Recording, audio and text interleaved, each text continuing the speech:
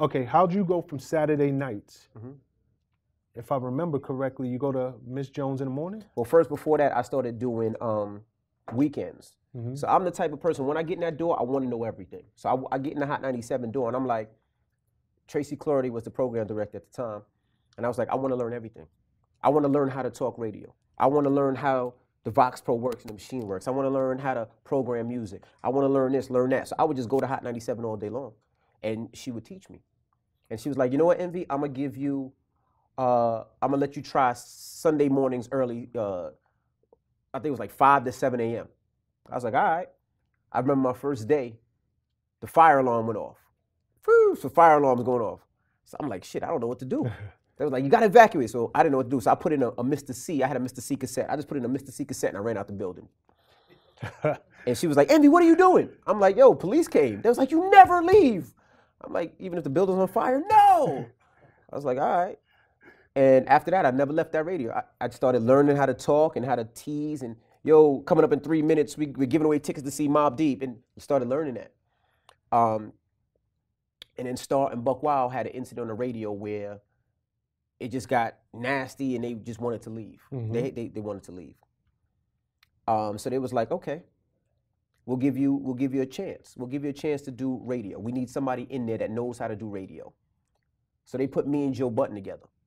Joe Budden was doing radio back then. So Joe Budden, me and Joe Budden did a radio show. And uh, Joe Budden was dope. He was nice, but Yep. he would just always be falling asleep. Like he was, he's a rapper. Um, so they used him for a couple of months, and it was like, no, we need somebody that's more persistent, knows how to do. So they hired Miss Jones, and uh, I stayed with Miss Jones, and I think we did radio for like two, three years uh, on, on Hot 97 Morning Show. That was a really great um, morning show. What did you learn from Miss Jones during that period? Because now Mhm. people work hard to get to a morning show slot. That that's not an easy slot to get in radio. Right. You're coming off of the club's hard body Mhm. Saturday nights. Right. You're doing whatever you can do behind the scenes, but you're not prime time yet. Morning show on Hot 97. That's a big deal. Right. What'd you learn? I mean, from Ms. Jones, the, the, the main thing, I learned a lot of things not to do with Ms. Jones, not to do in the industry, but I also learned the main thing with Ms. Jones, what made Miss Jones probably one of the best personalities ever, she got it her own way, but ever, was that she can pull anything out of the sky, make it a topic, and make it great radio.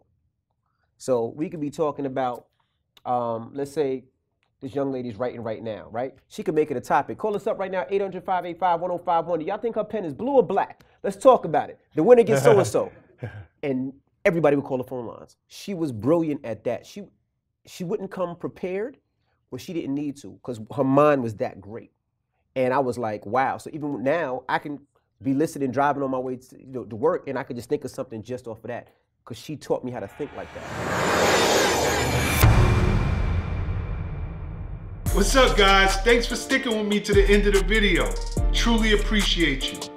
If you like anything you heard here today, go ahead and hit that subscribe button. And if you know anybody that can benefit from this message, feel free to share. Peace and love.